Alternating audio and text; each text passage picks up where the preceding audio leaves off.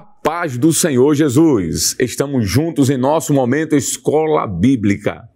Estaremos fazendo a leitura bíblica diária sugerida na lição de adultos. Nesta ocasião, estamos estudando a 11 lição com o título A Promessa de Provisão.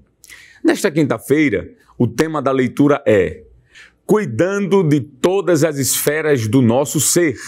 Vamos ler juntos o texto que está na primeira carta aos Tessalonicenses, capítulo 5, versículo 23. E o mesmo Deus de paz vos santifique em tudo, e todo o vosso espírito, e alma e corpo sejam plenamente conservados irrepreensíveis para a vinda do nosso Senhor Jesus Cristo.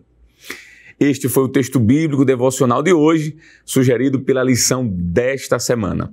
Você que é professor da Escola Bíblica Dominical, estude a sua lição e siga as recomendações pedagógicas sugeridas pela lição.